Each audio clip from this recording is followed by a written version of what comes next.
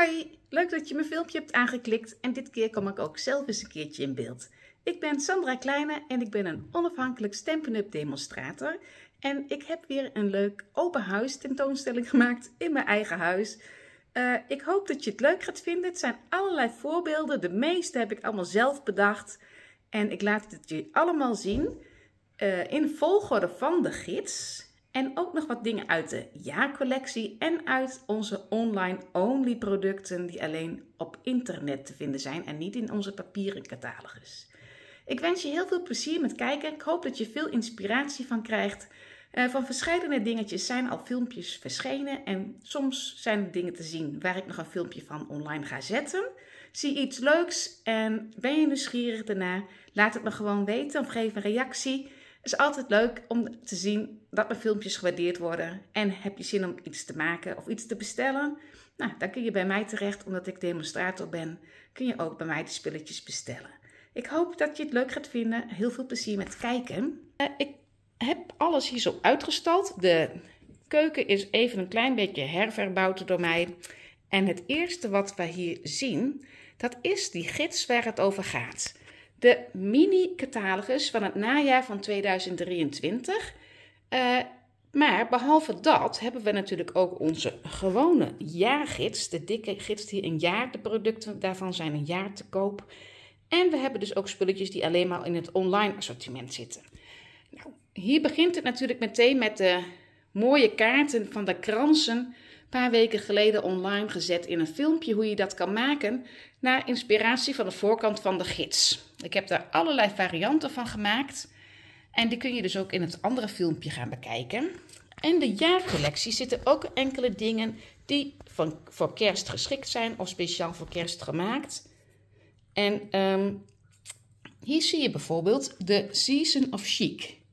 Dat is een hele leuke set, omdat hij voor alle seizoenen wel wat erin heeft. En hier zie je een variant met een kerstcreatie of een nieuwjaarscreatie. Niet iedereen wil een kerstkaart versturen. Er zijn ook mensen die willen liever iets met nieuwjaar. Nou, dan ben je met sneeuwkristallen die in deze set zitten heel snel klaar. En hier zitten dan ook stempels daarvan bij. Erg leuke set. En het is nog steeds de bedoeling dat ik nog een filmpje ga maken over hoe je deze kaarten kunt maken. Is nog niet aan de beurt geweest, maar ik laat hem wel weer even zien.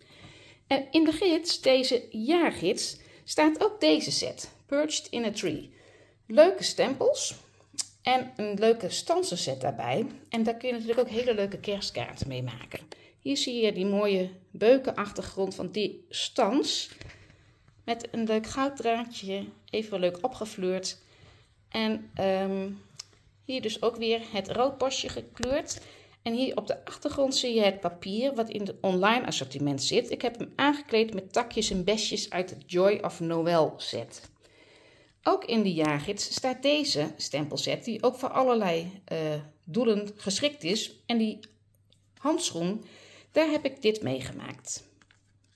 Uh, de achtergrond heb ik geëmbost. Die embossingfolder komen we straks nog een keer tegen. Hier zie je ook weer de sneeuwkristallen van de Season of Chic.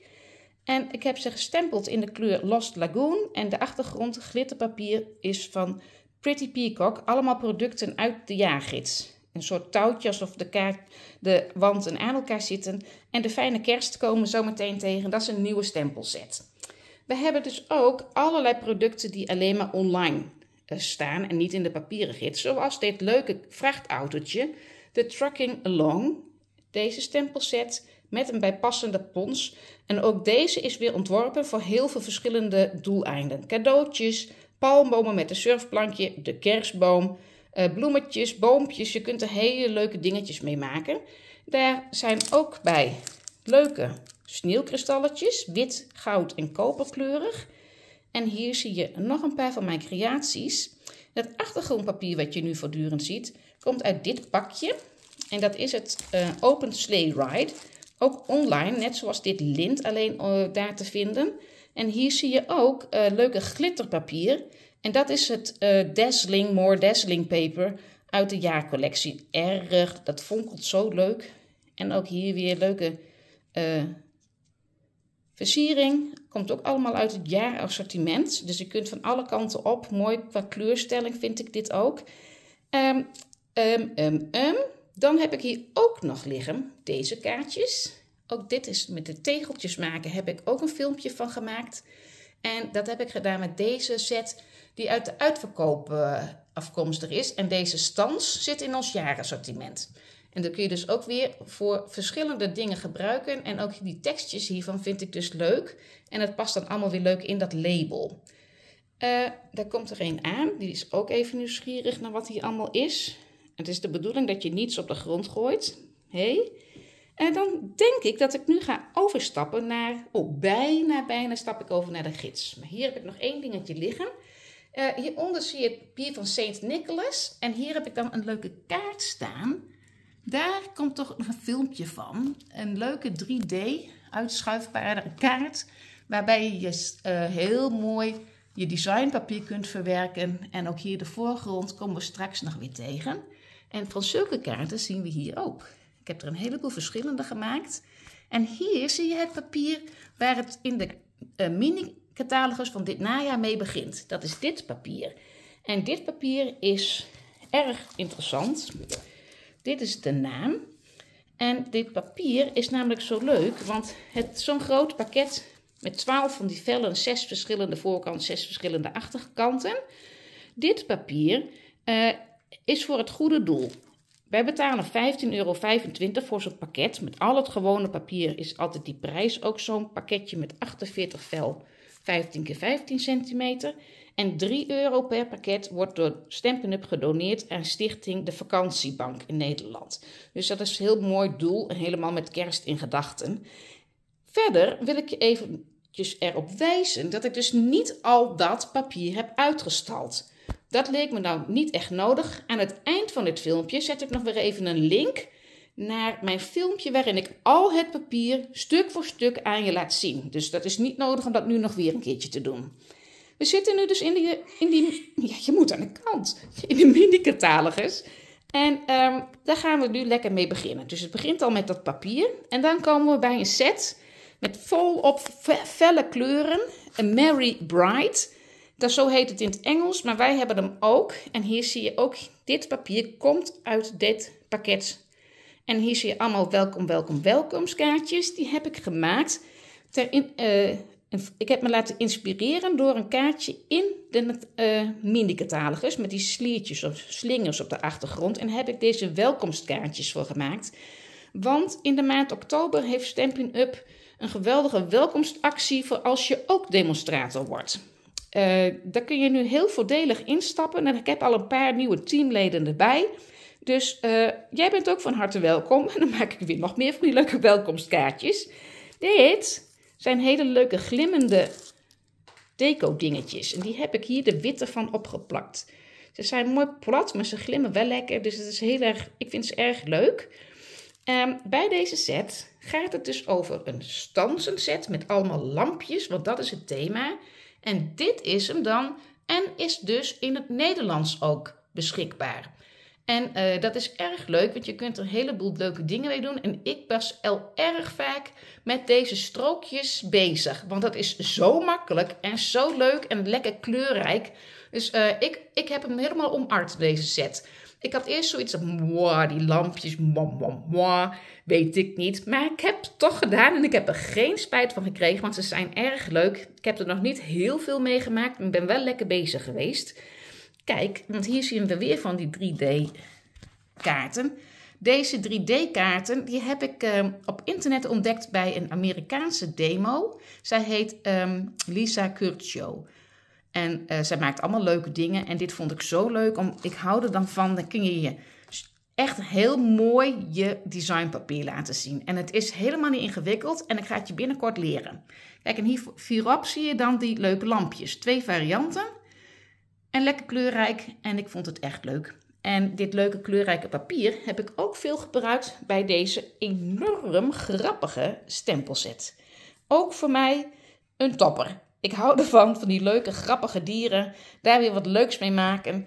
En in combinatie, op dezelfde bladzijde, staat ook deze stans. Een stans met allemaal kleine kerstboompjes. Even kijken hoe die in het Nederlands heet hoor. Want het, de kerstboompjesstans. Echt heel leuk, want dan kun je zulke dingen doen. Die is ook geïnspireerd op een voorbeeld uit de mini-catalogus, maar dan een beetje op mijn eigen manier gedaan. Hier op de achtergrond zie je heel mooi glanzend goudpapier. Ook dat papier, ook dit kerstboompje, die moet natuurlijk wel rechtop staan. Dit gouden shimmerpaper, dat zit ook in de koopjeshoek. Ik snap niet waarom het nog niet is uitverkocht, want het is echt heel erg leuk. En helemaal nu met kerst erbij. Ja, ik, ben, ik eh, vind het erg, erg leuk, dat spul. En wat ik dus hier ben ik helemaal losgegaan met die leuke dieren. Hier op de achtergrond zie je een nieuwe cirkelstansen set. Met uh, allemaal van die, weet je, dat weet ik veel, grappige vormpjes. Ik heb geen idee hoe je het noemt. Uh, in het Nederlands heet deze cirkelset geschepte cirkelstansen, geloof ik. Een soort van geschept papier. En je krijgt dan dus een heel leuk achterkartelrandje.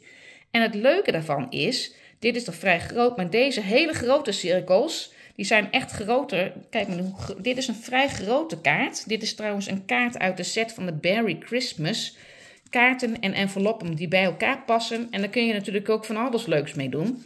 En kijk maar eens hoe groot deze kaart is. Want die dit is mijn gewone maatkaart van een half A4'tje. En dus het is nog iets groter, dus meer dan 15 centimeter. Dat betekent dat die grote cirkel dus echt uh, super mooi en groot is. En dat zie je niet vaak.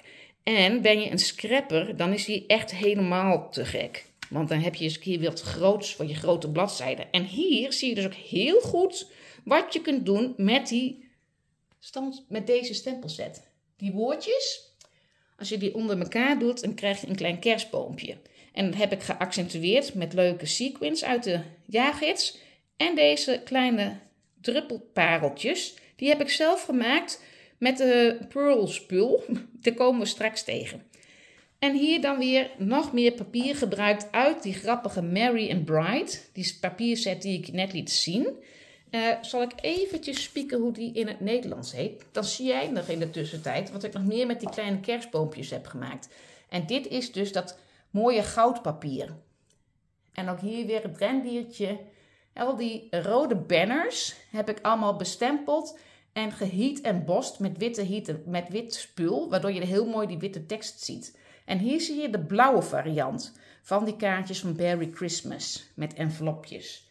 En dat kleurrijke papier, wat ik dan hier de hele tijd heb gebruikt, dat heet stralend en subliem. Anders kun je het niet vinden op de website. Trouwens, als je ooit eens denkt van, oh, ik kan het niet vinden, maar je weet wel een bestelnummer, dan kun je ook altijd zoeken op bestelnummer, wat heel handig is. Hier stappen we naar kerstsferen in de kerststal. Een heel uitgebreid filmpje van gemaakt. Hier zie je een heleboel van mijn creaties liggen. Allemaal verschillende varianten en allemaal gemaakt met dat mooie Oh Holy Night papier. Dus ook dat is helemaal in beeld geweest bij mijn andere filmpje. Ik heb nog drie van deze mooie gouden sterren over. Dus ik heb flink uitgepakt met mijn sterretjes. Ze hebben bijna allemaal een sterretje erboven. En uh, dan ga ik naar die leuke Berry Christmas toe. Hieronder ook weer het papier. Berry Christmas papier. En in het Nederlands noemen we het ook zo, omdat het een set is die past bij de stempels, de papier. En hier hebben we de Berry Cute stempelset met de bijpassende pons om die beer uit te ponsen.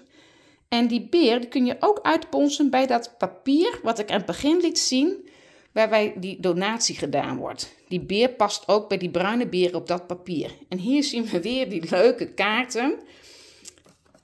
En dan allemaal met het Berry Christmas papier gedaan. En voorop de ijsbeer gestempeld. Sociaaltje omgedaan. Ook hier weer de kerststempeltje. Uh, wat ik ook even niet moet vergeten te vertellen. En daarom staat dit distressed papier hier, goudpapier. Die komt ook uit de jaargids. Daar hebben we ook glansgoudpapier in staan. Daar staat dat fonkelende papier in. Er staat glimmerpapier in. Er staat van alles in wat je super goed kunt gebruiken voor je kerstkaarten. Hier nog meer uh, inspiratie met de leuke ijsbeertjes. Dit is een fragment uit het papierpakket. Heb ik ook op zo'n kaart met envelop gedaan. Heel makkelijk. Hier zie je op de achtergrond Heel mooi zilveren koord. En ook dat staat in de jaargids en heb ik ergens klaargelegd. Wat in de nieuwe mini-catalogus mini staat, dat is dit super mooie zachte lint. Het is heel luxe en heb ik hier als een soort Ehm, cadeautje ingepakt. Die leuke kerstbomen gestempeld. Stippetjes en sneeuwkristalletjes eromheen. De kleuren zijn Starry Sky en Balmy Blue. Want het papier, of het lint is Balmy Blue van kleur. Ook hier weer eventjes te laten zien. Een andere variant weer met andere kleurtjes. De kerstboom weer. Dat envelop- en kaartconstructie. Er zijn twee varianten dus in één pakketje. En hier zijn weer een heel gezellig gezinnetje met de ijsbeertjes.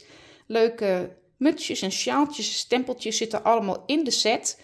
Uh, heb ik gecombineerd met mooi poolparty lint uit de jaargids. En dit zilverdraad, of zilverlint is het eigenlijk. Is ook goudlint van. Oh, dat heb ik net overgeslagen, want dat zit ook in de online only. En dit heb ik zelf even toegevoegd.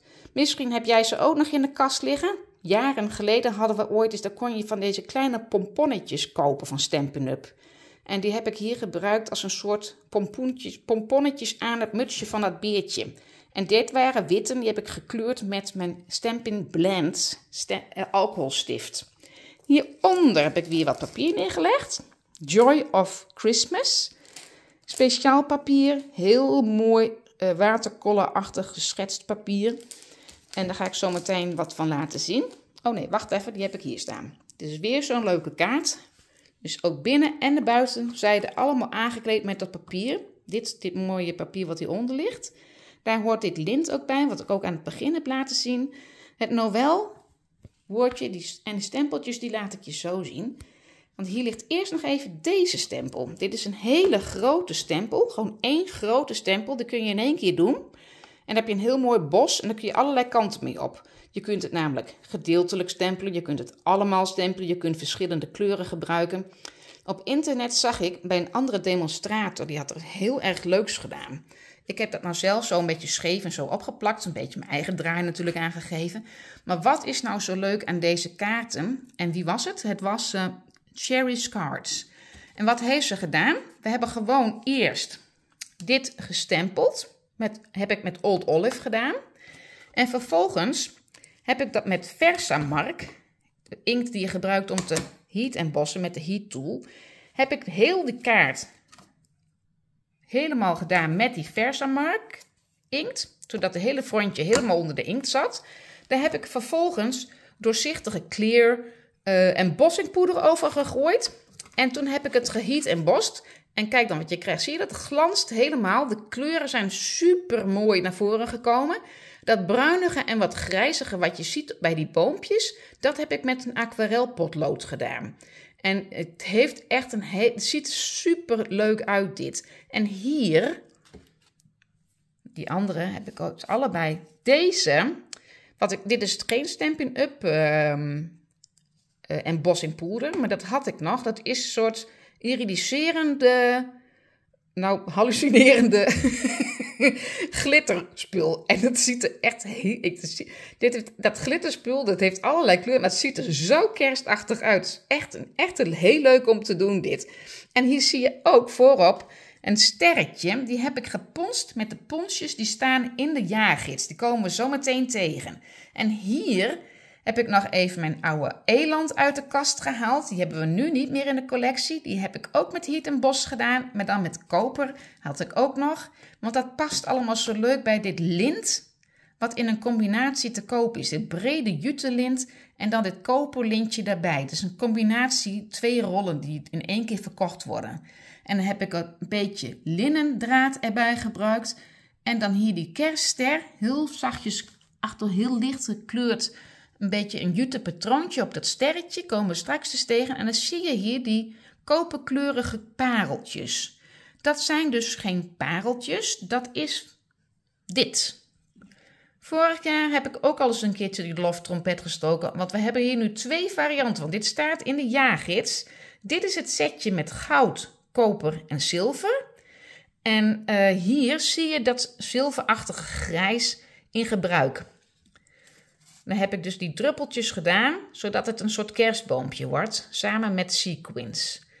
En dit is dus weer ontzettend leuk speelgoed, want je maakt er heel makkelijk, wel even een beetje oefenen natuurlijk, heel makkelijk leuke pareltjes mee. En ze, ze lukken bijna allemaal altijd. Het wordt een mooi bolletje. En ik weet niet of jij ziet dat het... Uh, dat zandkleurige wat ik met die aquarelpotloden heb gedaan, een beetje met grijs en een beetje met bruin, heb ik een beetje laten uitlopen met de Wink of Stella pen. En de Wink of Stella, die verkopen wij ook. Die ook, hebben ook wij in het assortiment van Stampin' Up. En die is bijna onmisbaar als je kerstkaarten gaat maken. Op een filmpje is dat heel moeilijk vast te leggen. Maar dat is een soort glitterpen. En daar kun je dus ook je aquarel eh, potloden mee laten uitvloeien. In plaats van met een waterpenseel of een blenderpen. Super leuk om te doen. Oké, eh, dat was het Joy of Noel papier. We gaan oversteken. Want we zitten nu bij Joy of Noel, dus wat ook op de voorkant van de gids staat. Hier heb je weer al die kransen, wat ik allemaal al aan je heb laten zien. Ook deze ligt op de kop, dat is niet echt handig. Allemaal met het kerstdingetje, leuk met dat zwart-wit lint en het zwart vanillelint. En dat is dus deze stempelset met die stansen. En dan kun je dus dat woord ook erg leuk uitstansen. Wat nou ook nog een idee is, is dat deze set bestaat ook in het Duits. En dan heb je geen Noël, als ik dat allemaal goed heb onthouden, maar Fest. Dan heb je de letters F-E-S-T. Daar kunnen we natuurlijk heel goed feest mee maken. Zomaar een ideetje. Hou hem in de gaten. Hier zie je ook, hier heb ik weer dat Noël gestempeld en gestanst. Het werkt heel makkelijk. En dan ook weer hier de hulsblaadjes uit de stempelset, die ik dan ook weer heb laten uitlopen met die Wink of Stella. Zo er zit weer een glittertje op. Dit labeltje is ook een labeltje uit het online only assortiment. Hier zie je twee van mijn kaarten, weer zo'n uitklapkaart. En heb ik het frontje gebruikt van die stempelset die ik uitgestanst. En die takjes zitten ook in die stempelset. En dit papier wat je ziet is papier van vorig jaar. Painted Christmas, maar dat heb ik dan ook nog. Dus dat past hartstikke leuk bij deze stempel met die blaadjes. Ik vind het tenminste zelf een leuke combinatie. Dan hebben we hier dat uh, Winter Meadow en hele mooie, uh, lekkere, dikke deco dingetjes. En uh, dit is dus Winter Meadow. Laat ik allemaal zien in, die andere, in het andere filmpje. Hier heb ik even uitgestald een fijne kerst en een gelukkig nieuwjaar. Dat zijn die stempeltjes die ik steeds weer heb gepakt. Heel makkelijk op een centimeter strookje of iets meer of iets minder. Het heel gemakkelijk een leuk labeltje. En dit is ook prachtig sneeuwkristalpapier. Dan komen we dus bij de sneeuwkristallen. Hier zien we weer die wandjes die ik aan het begin ook liet zien. Die heb ik hier nog eens neergelegd in de hoop dat ik niet vergeet dat dit een hele leuke embossing folder is die ik hiervoor heb gebruikt. Die staat ook in deze nieuwe mini-catalogus. Dus kleine stipjes en mooie kleine uh, sneeuwkristalletjes die dan voorbij komen. Dit is de kleurencombinatie net andersom met de Lost Lagoon en Pretty Peacock. En hier hebben we iets wat ik ook erg enthousiast over ben. Een mooie sneeuwvlokken stempelset. Is altijd niet verkeerd, zeg maar. Altijd handig. Maar dit is een hele leuke pons die daar weer bij kan worden gebruikt of los van elkaar. Een pons waar je een label mee kan maken. Hier zie je hem in gebruik. Want dit is wat de pons doet. Je krijgt een stukje sneeuw kristalletje buiten en binnen. Dus ik vind het zelf heel erg leuk bedacht. En ik heb dat dus ook gebruikt. En hier ga ik dus ook nog eens even lekker mee aan de slag om nog meer kleurcombinaties te bedenken. En hier zie je dus wat langer. Hier kan, heb ik hem wat korter afgeknipt met wat uh, blauw op de achtergrond, zodat dit dan weer leuk uitkomt. En ook hier heb ik weer twee van die leuke 3D-kaarten gemaakt. En heb ik hier voorop, dat is oud papier. Ja, sneeuwkristallen zijn tijdloos. Oud papier, ik leg hem even plat. Want hier heb ik het zelf, dan vind ik erg, le erg leuk. ik heb weer zoiets leuks gemaakt, jongens. Sneeuwkristalletjes van de stempelset gebruikt. En hier zie je heel mooi links en rechts die kristal van die pons. Ik ben er enthousiast over. Let It Snow zit in de stempelset. En die, ja, ik vind het een hele leuke, is een keertje wat anders Leuke pons. Echt een beetje Stampin' Up vind ik hem. Uh, dit zijn ook erg leuke glitterdingetjes. Ook van die platte plakken. Nee, deze zijn wel uh, hoog. Het zijn een soort rhinestones, maar die glimmen zo mooi. En die zijn dus ook super geschikt voor kerst en staan in het jaargids. En daar, hier hebben we dat goud en zilverdraad of koord. Heb ik ook te pas en te onpas gebruikt. Altijd handig. En dit is dus dat hele mooie koper uh, lint. Wat we hier terug zien komen. Oh nee, die had ik net al laten zien, hè? met het jute. Dus dat is, die ligt hierbij omdat het eigenlijk bij, de bij deze set hoort met de herfstspullen. Die herfstset, die ligt hier. Dat is de tweede Nederlandse set die in het nieuwe, in het nieuwe gidsje staat. Het is eigenlijk een, een hele mooie set met bladeren, maar uh, ook een set die een beetje triest overkomt, vind ik dan, omdat het allemaal. Uh, ja, het, zijn, het is eigenlijk allemaal gericht op condoliance, uh, met oprecht medeleven, je hart luchten. Um, voor iemand die het moeilijk heeft. We weten allemaal, en ze zijn nodig, de kaarten, de teksten zijn nodig. We willen eigenlijk nooit te veel bij stilstaan. Hè? Want ja, als ik erover praat, krijg ik al een beetje zenuwen van. Of verdriet, of weet ik veel. Dus het is het wel, maar het is een hele mooie set. En ik vind het ook, um, dit is gecondoleerd en dit is altijd in onze gedachten. Dit vind ik zelf beide erg mooi. Dit zijn hele kleine tekstjes. En daar is dus een stansje bij in die stanzenzet. Dat ook heel klein stansje. En daar is natuurlijk gemaakt voor deze kleine woordjes. Zodat het niet te veel over. Maar ik vind het wel een beetje heel klein. Maar ik denk wel dat je daar heel mooi uh, subtiel iets mee kan doen. Uh, bij deze stempelset hoort dus een heel uitgebreide stanzenzet, waarbij je de gestempelde bladeren kunt doen, maar ook allemaal extra bladeren hebt. Je hebt ook takjes die corresponderen weer met die bladeren. Dus je kunt een heleboel hier mee doen. En er zitten weer twee hele mooie labels in en ook patroontjes om stipjes van mee in de kaart te maken. En dat heb ik hier gedaan. Ik weet niet, zie je dat? Ja, bij, in, rondom dat, um, hoe heet dat? Label heb ik dat eerst door de standsmachine gehaald, zodat er stipjes zijn gekomen. Hier zie je kleine goudtakjes. Dat is weer dat shimmery goud spul uit die uitverkoop. En hier zie je ook mooie glansblaadjes. Dat zijn de, het, uh, is het glanspapier uit de jaarcollectie met alle inkollers van het Wild Wheat, Copper Clay, dat. En hier zien we nog een variant. Hier heb ik het, uh, ook dit blad uitgestanst. Ook weer de takjes en de blaadjes gedaan. En hier heb ik ook een voorbeeld gemaakt dat dit helemaal niet per se een herfst of nou ja, een beetje trieste set hoeft te zijn. Lekker geknald met de kleuren. Uh, gewoon een vrolijke kaart met allemaal uh, blaadjes. En ook hier zie je op de achtergrond, hoop dat je dat ziet, een mooie embossing folder. Dat is deze embossing folder en zit ook alleen in het online assortiment. Een mooi ding dat erg mooi aansluit bij die blaadjes. Er is papier bij met koperopdruk en uh, leuke decoratiedingetjes. Dus ook dit weer een hele uitgebreide set. Dit kaartje heb ik ook niet helemaal zelf bedacht. Een beetje mijn eigen draai altijd weer aangeven natuurlijk. Maar die heb ik van Tammy Wilson.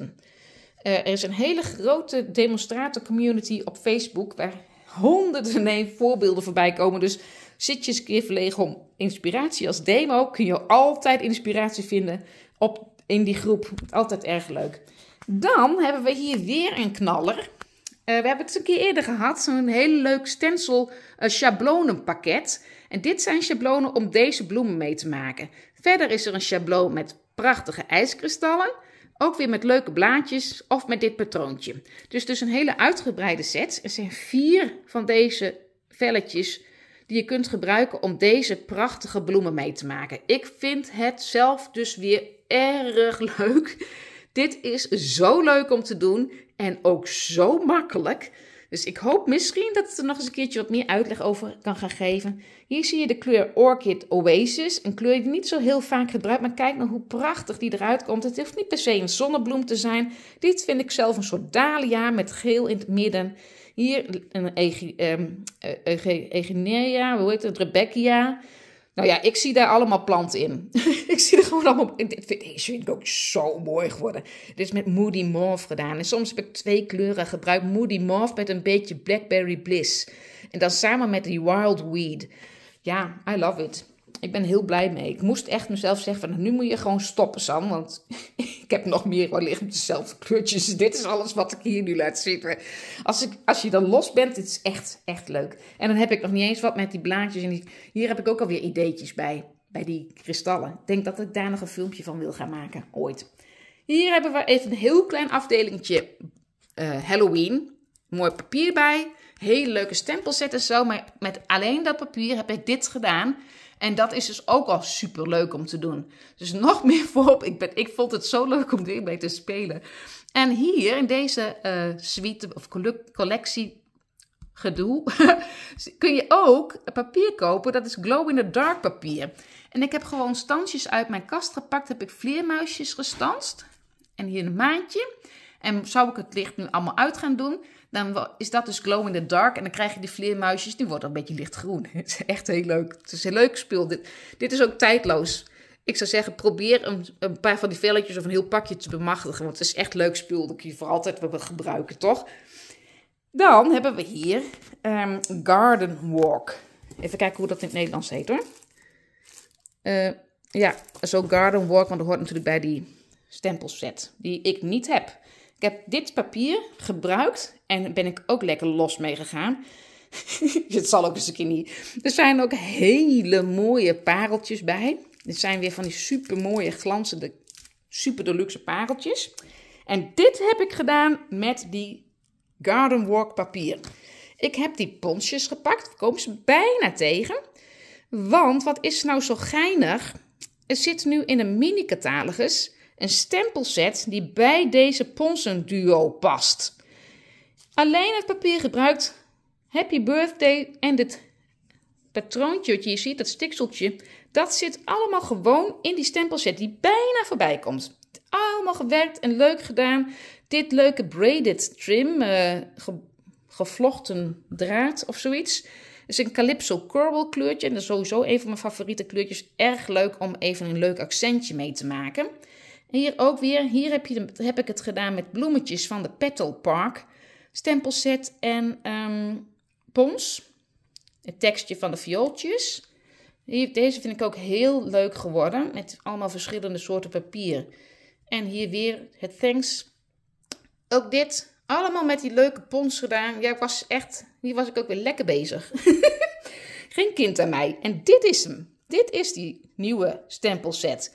Zie, die past bij het kruisje en deze passen bij het sterretje.